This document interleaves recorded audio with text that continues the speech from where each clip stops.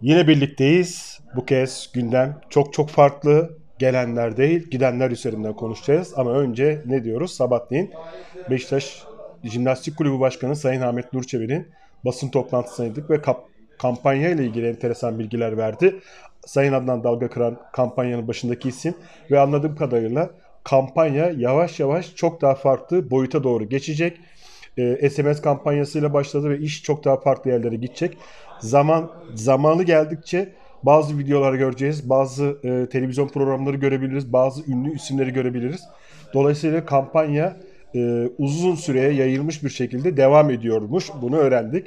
Bakalım karşımıza ne gibi sürprizler çıkacak. Bizlere düşen kampanyaya e, mümkün olabildiği kadar maddi ve manevi destek verebilmek. Bu kampanyanın nasıl amacı? Manevi. Yani camiayı bir araya getirmek, bütünleştirmek bu çok önemli. Ve ben de kampanyanın çok daha iyi yerlere gideceğini tahmin ediyorum.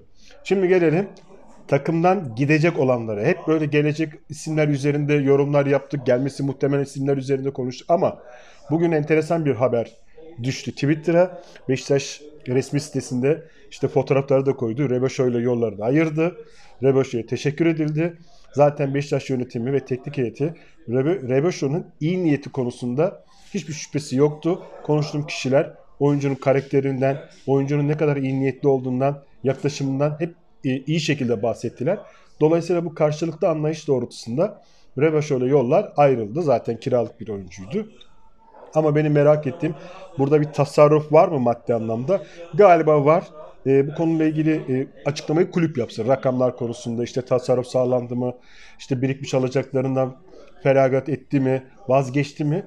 Bunlarla ilgili detaylı bilgileri e, kulüp açıklar zaten ama galiba hedeflerin arasında sadece yolları ayırmak değil bir anlamda da e, bu e, bazı alacaklardan vazgeçilme noktasında tasarruf da var galiba. E, yavaş yavaş göreceğiz bunları. Fakat arkadaşlar Reboşo e, ilk isim pardon Karius vardı. Şimdi Reboşo. Karius da daha farklı ayrıldı. O bütün parasını istediği için bir anlaşmazlık oldu. Ama Reboşo da öyle değil. Şimdi bundan sonra ne olur? Biraz araştırma yaptım. Sırada başkaları da var. Şimdi yavaş yavaş gidelim, teker teker gidelim. Sırada kimler olabilir diye mantık yürütelim. Ben diyorum ki Douglas.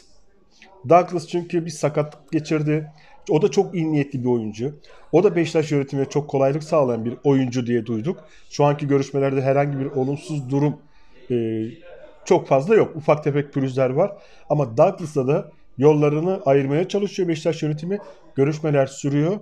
E, bundan sonraki süreçte hani Douglas'a teşekkür ederiz diye bir paylaşım olursa Beşiktaş resmi hesaplarında sakın şaşırmayın. E, çünkü sağ bekte yerli bir Türk e, yerli bir sağ bek e, yurt dışında oynayan yerli bir sağ bek arandığını zaten söylemiştim. Beşiktaş yönetimi mevcut kadrodaki Gökhan Gönül ile sözleşmesi bitiyor ama Beşiktaş'ın şartları doğrultusunda, maddi şartları doğrultusunda bir mukavele imzalamak istiyor Beşiktaş yönetimi. Bir veya bir artı bir bilmiyoruz ama Beşiktaş yönetimi önceliği bir sene ve istediği rakamlar doğrultusunda. Douglas'ı e, yani beklerden biraz yabancıları çıkartmaya çalışıyorlar. Mevcut yabancılar işte Reboş'a gitti. Douglas'la da yolları ayırmaya çalışıyorlar. Bakalım ne olacak? Görüşmeler devam ediyor. E, lig bitmeden, lig bitmeden de Douglas'la tıpkı Reboşo ve Karius gibi yolları ayırabilirler. Peki Douglas'tan sonra kim olabilir? Belki bu söyleyeceğim isim hani Douglas'tan da önce olabilir. Yani sıralamayı benim söylediğim gibi düşünmeyin. Çok farklı bir sıralama olabilir ama ben listedeki isimleri söylüyorum. E bir diğer isim de arkadaşlar son maçta oynadığı futbolla tepki alan, e, daha doğrusu sezon genelinde çok fazla katkı sağlamayan, aslında hızlı olmasına rağmen, güçlü olmasına rağmen beklenen etki gösteremeyen bir diğer isim ise Diaby. E, Diaby ile de e, yolları ayırmaya çalışıyorlar. Biliyorsunuz ki o da kiralık. Hatta onunla şu an bile yolları ayırmaya çalışıyorlar. Belki bugün, belki yarın e, bunu görebiliriz. İşte e, Diaby'ye de teşekkür edebilirler. E, çünkü kalan maçlarda Sergen Hoca Diaby'ye pek forma vermeyi düşünmüyor. Yani yedek kulübesinde varsa e, hamle oyuncusu olarak değerlendirebilir son yarım saat, son 20 dakika falan ama tasarruf ederek Beşiktaş yönetimi onunla yolları ayırabilirse ayıracaklar. Çünkü burada birinci amaç tasarruf, ikinci amaç bu oyuncuların gittiği zaman yerlerine mevcut kadrodan ve altyapıdan başka isimleri koyabilmek. Bir yandan da oyuncu kazanmaya çalışıyor Beşiktaş yönetimi. Dolayısıyla Karius, Rebeşo, e, Douglas Diaby. Şimdi Diaby'nin bir kanat oyuncusu olduğunu hepimiz biliyoruz. Geçenlerde bir haber yaptım. 4 kenar oyuncusunun Beşiktaş'a olan katkısı. 5 gol 5 asist. Az. Çok az. Yani diğer takımlara baktığınız zaman ne bileyim bir Vizca'ya baktığınız zaman e, diğer futbolculara baktığınız zaman diğer takımlardaki tek başlarına bu performansı 3'e katlamışlar neredeyse. Dolayısıyla bu tablo e, kabul edilemez. Ve Diaby de yolları Beşiktaş yönetiminin yollarını ayırmaya çalıştığı isimlerden biri. E, Diaby'den sonra bir başka isim ise yine kiralık Boateng. E, Boateng de son maçtaki performansı çok çok iyi değildi. E, zaten kontratı biliyorsunuz ki e, yüksek ücret alıyor. Yani bir sene daha Beşiktaş'ta kiralanırsa Beşiktaş yönetimi o parayı zaten ödeyemez. Oyuncu bunu kabul eder mi etmez mi bilmiyoruz ama biraz da bu oyuncularla ayrılma nedeni performans. Onu da belirteyim. Boateng'in şu anki performansından ne Beşiktaş yönetimi ne de Beşiktaş teknik heyeti memnun değil. Hele hele son maçta ciddi bir hayal kırıklığı yaşadılar. Dolayısıyla Boateng'le de yakın zamanda yollarını ayırabilirler. O da kiralık. Belki sezon bitmeden eğer yollarını ayırırlar, ayırırlarsa şaşırmam. Orada da tasarruf çok önemli. Çünkü kalan haftaların hani parasını vermeyebilir, biraz indirim yaptırabilir, alacağı varsa ondan biraz vazgeçebilir. Bunların hepsini Beşiktaş yönetimi kovalıyor. Şimdi sırayla Karius, Reboşo, Douglas, Diaby ve Boateng. Bu isimlerle e, tıpkı Reboşo gibi yakın zamanda Beşiktaş yönetimi yollarını ayırabilir. Onu da belirtelim. Şimdi tabii bu oyuncular gittiği zaman yerlerine çok daha başka isimler bir forma giyecek. Ee, mesela Tyler Boyd Beşiktaş'ın bonservisli oyuncusu ve Tyler Boyd'un performansından çok memnun olmasalar da diğerlerine göre daha iyi diye düşünüyorlar. Tyler Boyd'u teklif gelmedi sürece kadrosunda tutmayı düşürüyor Beşiktaş yönetimi. Yıllık ücreti çok fazla değil diğerlerine göre ama onun da yıllık ücretini aşağı çekmeye çalışıyorlar. Yani kalacaksın ama şartlar var. E, bu şartları da e, Boyd'un önüne koyacaklar. Boyd bunu kabul eder mi etmez mi bilmiyorum ama kabul edecek gibi gözüküyor. Enkudu biliyorsunuz ki Beşiktaş'ın bonservis oyuncusu. Yaşı da genç. Aslında hızlı bir oyuncu. E, birebir de adam geçebilen bir oyuncu ama kötü bir sezon geçirdi. Yani bir sakatlık süreci oldu. İşte geldi karantinada kaldı 14 gün. Yani Sergen Yalçın son maçta bunun da sıkıntısını yaşadı.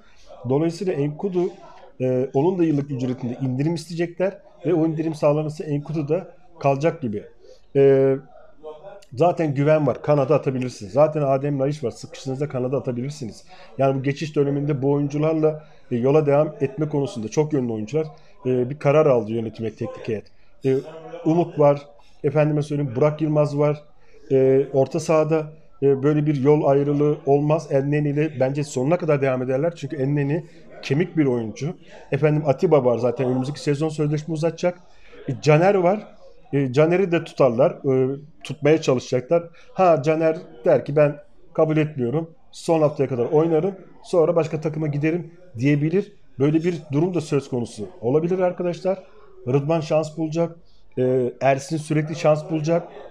Allah göstermesin bir sıkıntı olduğu zaman Utku şans bulacak. E, böylesine oyuncuları kazanmak istiyor Beşiktaş yönetimi. Kartal'a forma verecekler. Belki Vida'nın yokluğunda hani Vida belli mi değil mi bilmiyoruz ama yetişir mi yetişmez mi bilmiyoruz ama belki Erdoğan ismini görebiliriz. E, efendime söyleyeyim biliyorsunuz ki Roko var. Roko ile de böyle bir ayrılık söz konusu olabilir. E, Roko'ya da bazı kulüplerin e, ilgilendiği yönünde haberler geliyor. E, oyuncuyu bonservisi değil de hani Beşiktaş yönetimi alacaklarına karşılık onu serbest bıraksın öyle alalım diyen birkaç kulüp olduğunu çok net ağızlardan duydum arkadaşlar. Öyle bir ayrılık da olabilir. Sezon sonunu beklerler ama yani tahminimce beklerler. Sezon bitmeden yollarını ayırırlar mı çok da emin değilim.